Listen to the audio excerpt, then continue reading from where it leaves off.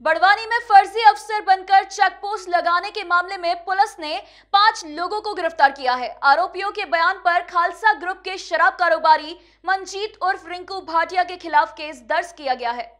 बड़वानी की कोतवाली पुलिस ने ग्राम मोरकट्टा में कार्रवाई करते हुए पाँच आरोपियों को गिरफ़्तार किया है।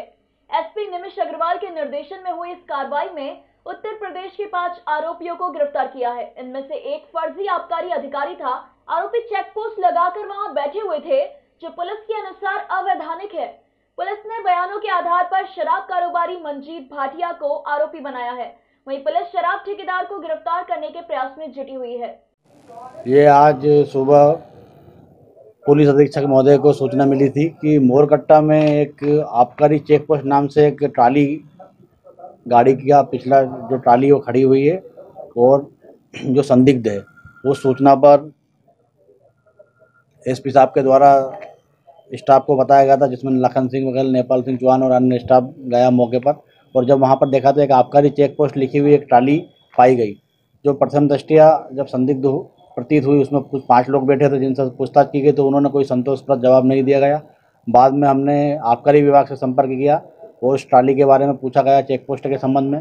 जो आबकारी विभाग ने जानकारी दी कि हमारे द्वारा कोई वहाँ पे चेक पोस्ट संचालित नहीं की जा रही है।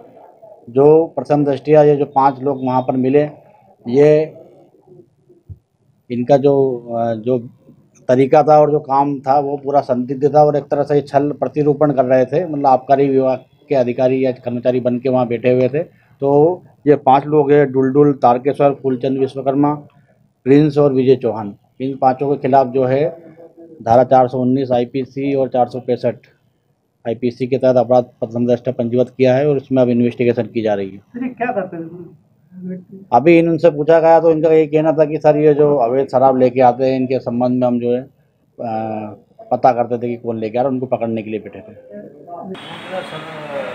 बताओ बताओ तुम्हारा पक्ष बताओ।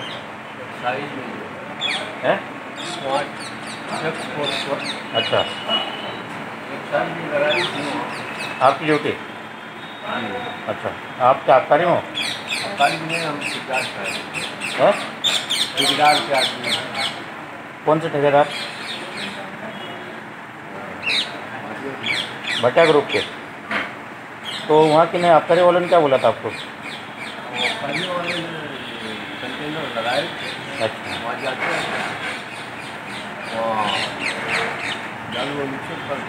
आपको बता दें कि मोरकट्टा के उस पार ज़िले से अवैध शराब का परिवहन होता है।